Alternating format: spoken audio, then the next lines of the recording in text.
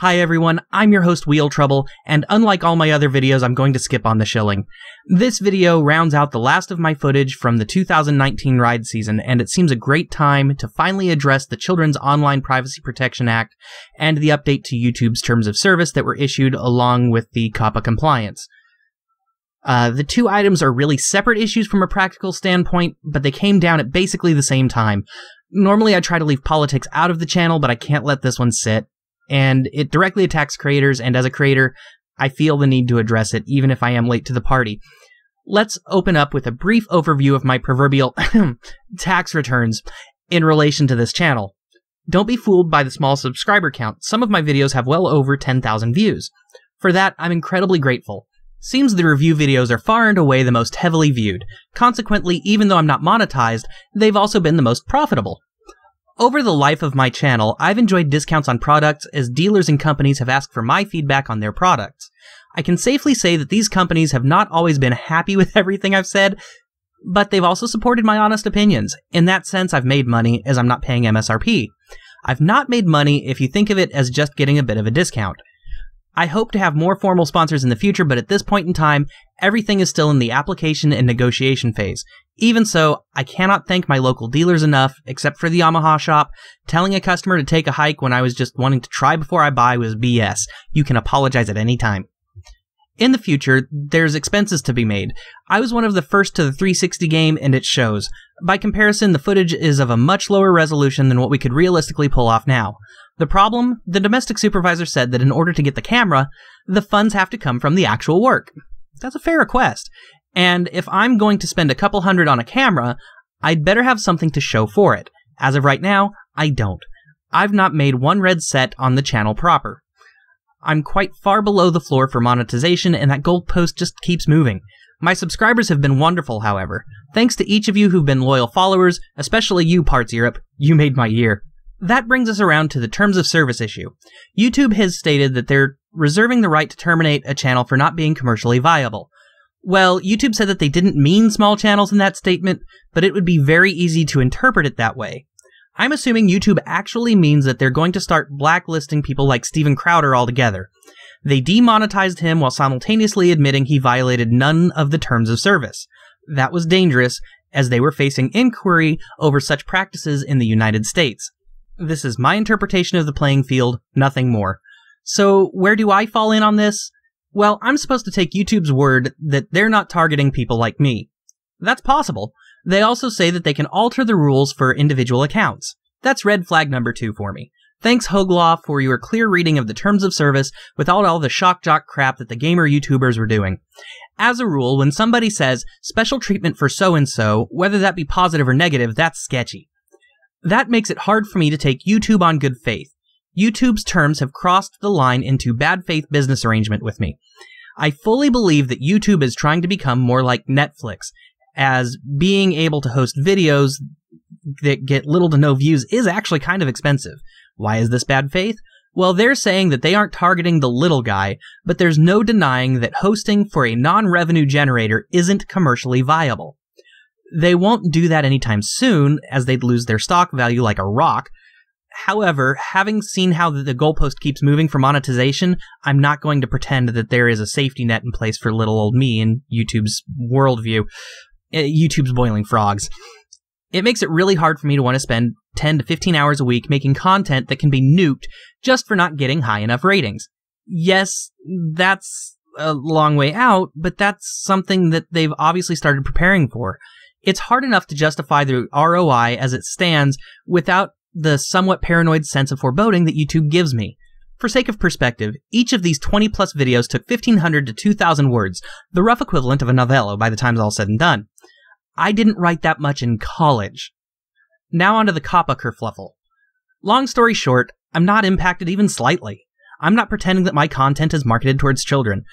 I've long ago set my channel settings to that effect. Further, aside from earlier game footage and one particular trailer video, most of my channel is remarkably tame.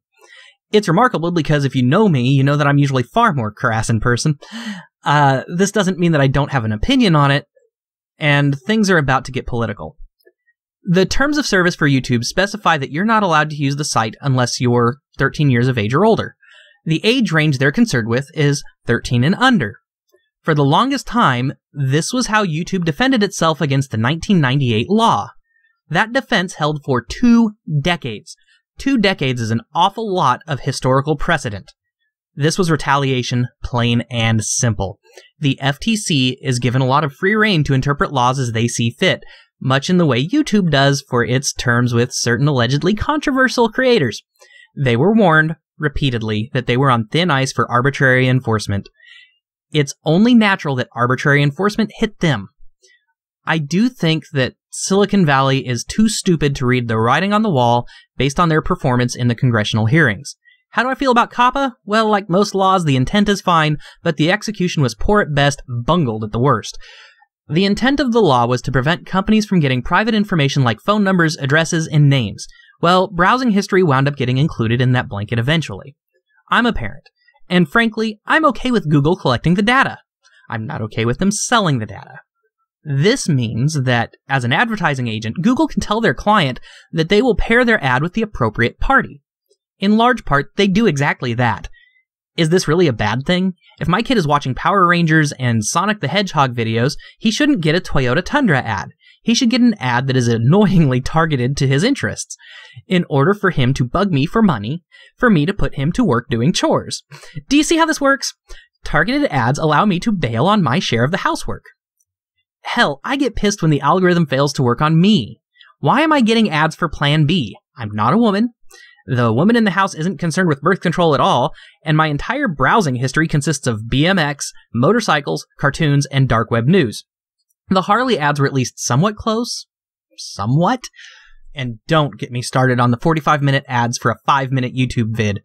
Frankly, targeted advertising was exactly how TV ratings and commercials used to work. It just wasn't that big of a deal, and what Google was doing was just an updated version of that practice. Further, Google's YouTube actually helped my kids learn a fair bit of astronomy prior to ever entering school. YouTube was far more effective at teaching than Sesame Street was. We, as parents, got the ball rolling with a few videos. After that, the algorithm would guess what we would like, and we just let it run.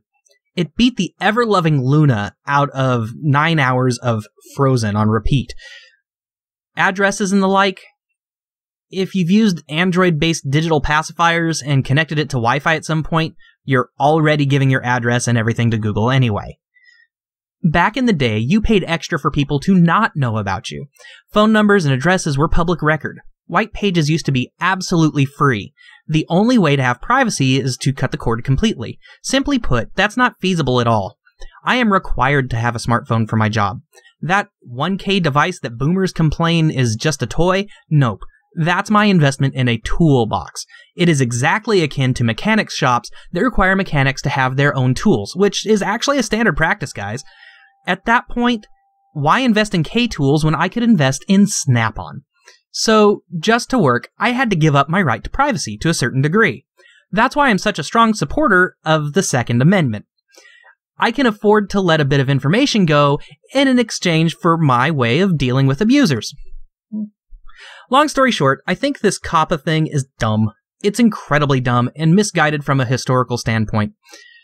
I get the desire to provide privacy protection, but when you choose to do business with a company, you acknowledge that you lose a bit of privacy to that party.